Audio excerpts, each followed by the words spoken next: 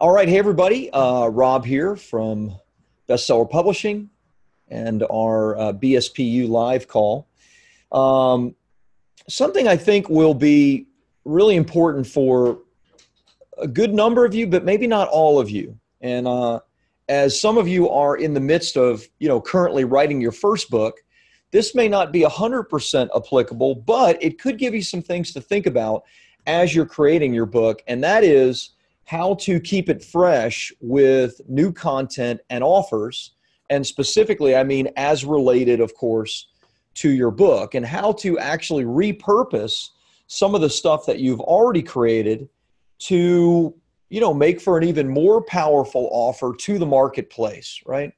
Your income uh, and the impact, quite honestly, that you have on the world is going to be really dependent upon a couple of things. Obviously, will be dependent upon the quality of your content. You want to put out something that you, as an expert, you know, are proud of, and that will make a difference in people's lives. But uh, what good is quality content if nobody knows about it? Nobody ever sees it. So it's not just the quality of your content; it's people consuming your content. It's you making offers for people to consume your content, read your books, go through your materials, buy your courses, and perhaps if you do it, um, offer services, coaching, consulting, etc. And so, depending on you know what your business model looks like, you need to have fresh content that you're putting out. Again, depending on what your model is and how you plan on attracting clients, and also how big, honestly, you plan on your business being. So, for example, I want to give you a couple of exa- examples. I have several clients' books here, uh, as well as obviously my own, because I want to show you what we're doing. I'm going to be going off uh, the face to camera stuff and sharing my screen with you and show you kind of live action what we're doing with uh, my newest workbook, which is you know from Publish Promote Profit. I'm going to talk you through how we developed it, how it was created, which wasn't all that difficult, and how we kind of made it sexified, you know, so people want it, right? Sexied it up, if you will. I don't know if that's a word, but there you go. Um, so eh, let me give you an example on the other end. So this is my client, Robert Raleigh. We did this book for him several years ago now. And Robert has a pretty big business, um, primarily in the EU, right? Um, he uh, does large live events all over the European Union. And uh, this is the only book that he has and he doesn't have a workbook associated with this. He doesn't have other content associated with this, except for the courses that he sells and his live events, which then lead into coaching, consulting, and that kind of thing. Robert has no intention at all to write another book or to create a workbook from this. And he continues to use this book to bring in uh, thousands of new people every single year into his live events that he runs himself and speaks and then brings on coaching clients, consulting clients, course sales, etc. So with Robert's model, you know, using a book to establish authority, credibility, expertise, and then using that book further to bring people to a live event in a large geography, right? The entire European Union. Um, no problem. One book over, even though nothing else has been created in several years, continues to function beautifully, right? No problem whatsoever with uh, bringing in new clients that haven't seen this book or that want to, you know, see Robert face to face and come to his event. Now we do things a little bit differently, as you know. I do a few live events a year. Uh, primarily, I do live events uh, that are client only events, which I want to tell you, make sure, let you know we have a couple spots left. These are free events, therefore, are done for you clients only and we have one coming up in two and a half weeks. I keep them small, just 25 people, but I do have a couple spot, spots available for that. So if you're interested, make sure you, you post below and, and give me some info. Anyway, let me know that you're interested because the, the spots will go and then we cap it anyway. It's free. I'm not charging any of my clients for it, so I'm not trying to sell anything. Anyway, uh, that was the commercial uh, to not sell something. But there you go. So we do things differently, as you know. Uh, we do a lot of paid advertising and that paid advertising focuses on what we call a free plus shipping funnel. The free plus shipping funnel is offering my book for free. All someone has to do is pay for a, a shipping and handling charge of $7.95 in the United States, a little larger uh, outside of the US. And then they come into our funnel and there's a series of upsells or downsells, ultimately bringing people back to uh, do a, a, one-on-one uh, consultative call with an author development coach to see if they might be interested in having us help them or help you as you guys have with the ghostwriting the publishing the book launches the media pr etc well when you use online marketing and especially focused on just a couple platforms like like facebook and instagram the the the ads uh, begin to get fatigued. And they get fatigued because the image is the same the book cover is the same etc and so you need to craft new content and or repurpose your content so that the offer appears different and that people that haven't bought it but maybe have seen it a few times aren't fatigued by it and then dive right back in or dive in for the very first time. So we created my black book of writing marketing pr and media directly from my main book, Publish, Promote, Profit, and just launched it this past week. Now, I'm going to give you all the details on launch because it's like absolutely crushing it. It's doing fantastic. And we're giving Publish, Promote, Profit a little bit of a breather, a rest. Now, we're going to continue to use Publish, Promote, Profit, but we've driven millions of people, millions of eyeballs to the Publish, Promote, Profit offer in the last eight, nine months. And it's begun to be fatigued, right? Our ads aren't doing as well and the funnel isn't doing as well because we've driven so much traffic to it. So all I did, and I'm going to share with you exactly how I did it, talk to you about at least for I think a good percentage of you, this is a good model for you to build a workbook down the road if you're interested, especially in paid advertising and marketing, um, to build that workbook that can be another offer that you interchange, right? The workbook will begin to lag a little in maybe three, four, five, six months. We'll flip back over to Publish Promote Profit. And as you know, I'm writing a new book myself, and, and that book will be ready about that same time. And we'll just start rotating these various offers and continue rotating various offers. So, short version is you know, depending on how you want to use your book to attract clients, you might not need to do any of this, right? Robert doesn't really need to do any of this.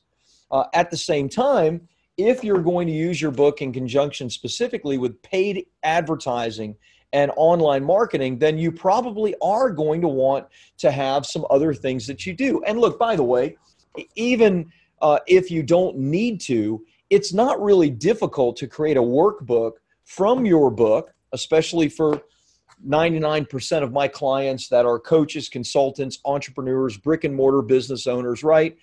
Um, you know, that you're writing a nonfiction book about your expertise. It's not that hard using the process that we use to craft the book to, to then make it into a workbook. And so if that's the case, then, you know, you should have that additional offer in there that might entice somebody. So let me let me dive in. I'm going to begin sharing my screen with you so that you guys can see some of what we are doing right now with the uh, the offer.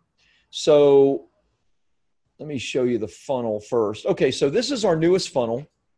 This is the um, uh, what we call the black book of uh, writing, marketing, PR, and media, which is the workbook. You can see this funnel looks almost exactly like the other funnel. That's because we just modeled it completely after it. But we're making a very clear, separate, distinct offer for the workbook. So I shot new video, it's short, uh, and a lot of the same testimonials and case studies uh, I was able to use simply because the workbook is a direct take from my main book. So we used a lot of these exact same videos where people read my book, loved my book, and, and had something good to say. So let me show you the last seven days of like real numbers in my ClickFunnels accounts, in my ads. This is stuff that you guys are privy to that nobody else sees uh, because it's privileged information. Quite frankly, it's nobody's business, but I'm happy to do it for you. So we began scaling back, publish, promote, profit, right? Spending a little bit less money. So in the last week, uh, from the 26th to the 2nd, This has brought in 57 sales and about $2,157. Um, obviously, what I'm most concerned about is not really the gross revenue. I'm most concerned about the number of people that are buying because those are people that translate into new opportunities for us to offer our done for you services. Well, this is the Black Book of Marketing. You can see that um, it's done significantly more, almost $5,000 in sales, 223 new um, marketing book buyers that have come into the funnel. Now, there's probably some overlap, but that's okay. There's not a ton of overlap. And those hyper buyers are probably buyers that would be interesting interested in ascending to our other products and services. So I love that. And what's cool for me is this is what I've spent in the last week, $8,400. And you can see just quick addition, uh, I've brought in about $7,100, okay, or 7,150 or something like that. So yes, still a little bit in the red, but you know, literally only uh, 1,300 bucks to bring on uh, in that period of time 800 uh, 1,000 new opt-ins, so 1,000 new email addresses, and 57 plus 223, 275-ish new book buyers, people that actually bought this and or this and have come into the world and have you know been interested in other uh, types of, of services that we offer now to show you the results of that because remember what i'm interested is not losing money offering my book now i'm happy to get a thousand people into my funnel and 275 actual buyers that pull out their credit card and buy my stuff for only a thousand bucks. That is a steal, the steal of the century. But here's what we're really looking at, right? This is what we do on a daily basis. These are people who have applied for a one on one consultative call with our author development coaches. And you can see this morning we've had, you know, just four, uh, five actually.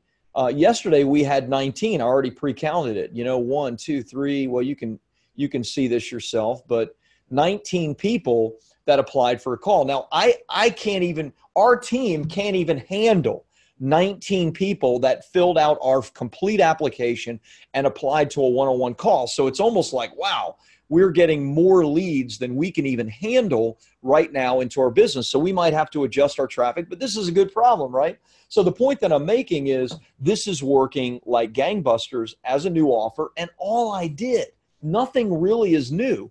All I did is use the, the format of Publish, Promote, Profit that I wrote a year ago and repurpose it for a workbook. So if you are an entrepreneur writing a nonfiction book, or you're a coach, consultant, financial advisor, doctor, dentist, chiropractor, fill in the blank, right? Uh, an expert of some kind, and you're writing an expert book, then you absolutely positively need to think about how can I repurpose that into a workbook of some kind. So again, these are the stats. This is the new funnel. I'll give you these links if you want, but it's really simple. It's just writingblackbook.com, but you can see it's just working like uh, absolute gangbusters.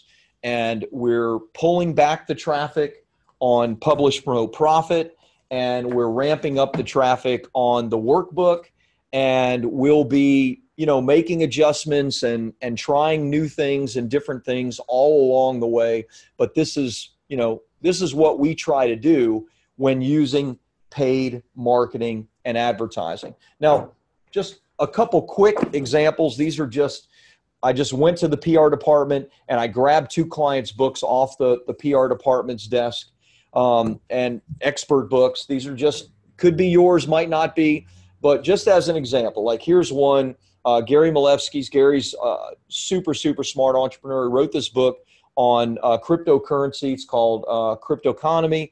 Uh, how easy would it be for Gary to repurpose this into a workbook with chapters on how to safely buy Bitcoin or safely buy Ethereum, how to store Bitcoin or store Ethereum, how to make sure that you're keeping the bad guys out of your cryptocurrency, the future of cryptocurrency, et cetera, would not be difficult. Obviously, the same with Danielle. This is a beautiful book that we did for Danielle. Add this to your plate. She's got all kinds of recipes, beautiful pictures and whatnot in here. But how easy would it be to have a workbook where somebody can just follow along and you know make out their own uh, dietary restrictions or things that they want to do, uh, their own nutritional uh, schedule for this week, etc. So you need to think: How can I take my book and repurpose it so that it can be used maybe one day as a workbook? Now, do you have to do it? No. But let me tell you, if you're going to use paid advertising in any um, way, shape, or form, like I do, then certainly you want to absolutely think about repurposing your initial content into other forms so that you can change out the ads and mix things up a little bit. So uh, I'm going to stop sharing my screen, but I do want to give you a couple of hints on how we did it, like kind of step one, step two, step three. So it's not just me saying you should do something, but it's me telling you exactly how we did it. So, what we did to basically repurpose Publish Promote Profit into this workbook was fairly simple, just three or four uh, simple steps. The first step, and obviously I have staff that can do this, uh, but I wanted to have my hand in it, you know, pretty significantly. But the first step was I had a staff person go through my book and basically outline, okay, what are the parts of my book? Because there's a lot of story, and that's what we teach you guys to write with story, etc. But what are the parts of my book that can be turned into Q and A questions that can be asked?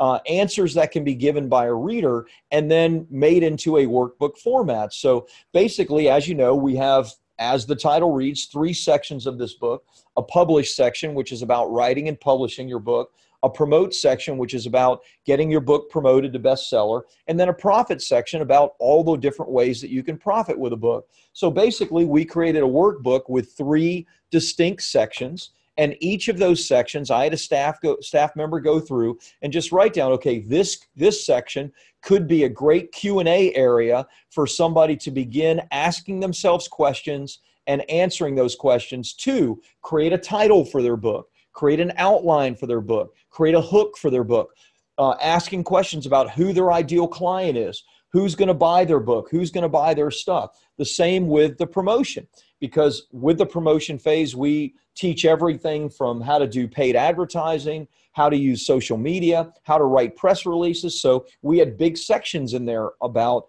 okay, uh, you know, answer this question to write the first, you know, three sentences of your press release. Then answer this question to write the second part of your press release.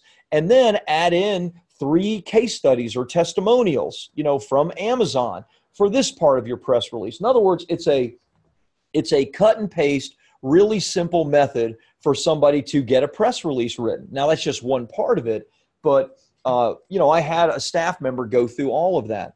As that staff member went through it, and and I kind of checked the boxes. I, I went through it with them. I said, okay, this is good, this is good, and I don't like that one. We don't need that in there, or there's too much teaching, too much kind of cutting and pasting from this, and not enough asking questions. Because, in my opinion, a workbook needs to ask a lot of questions and and bring people through the process, get them thinking so we we removed some stuff, we added some stuff, and then I, I basically said, okay, here's what I want you to do. I want you to think how many questions um, within this section are necessary to get someone to the point of finishing their press release or writing, uh, crafting the hook for their book or writing the table of contents for their book, right? Um, so think through that and then just add in the lines that somebody would would need to have in that particular section to do so. So, as an example, let's just open up right at the beginning. Right in the beginning, it's laying the foundation, which is okay, what are the keys to a solid foundation? And what do you need to think about before you begin writing? Just a couple of paragraphs, and then boom, okay.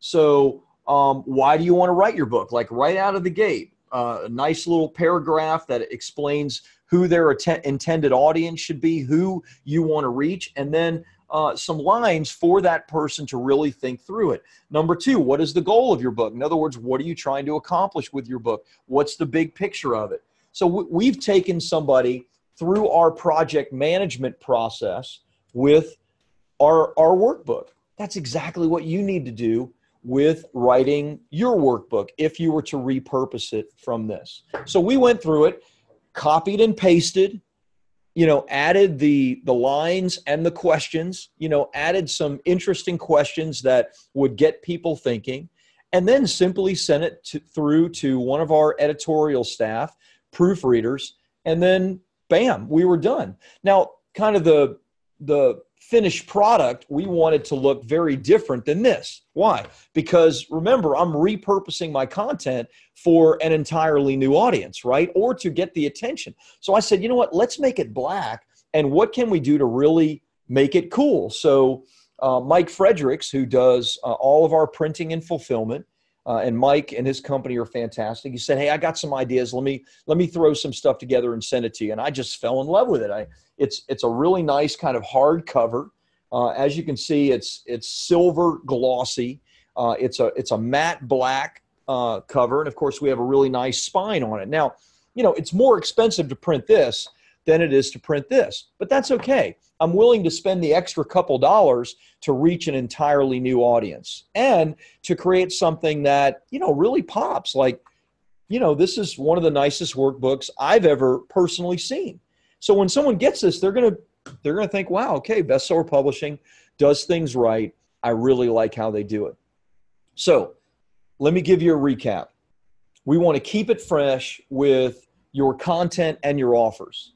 You don't necessarily need to, right? You can have one great book that you can ride for a long time depending on how you use it, just like Robert is using his. But if you're using it and putting it in front of tons of people, however way you, you decide to do that, then you are going to need to think, okay, there's going to be a little bit of uh, a tiredness of this. And so you want to create something fresh and you want to repurpose your content. We do that with a workbook. Not hard to do. It's something you should be thinking about doing.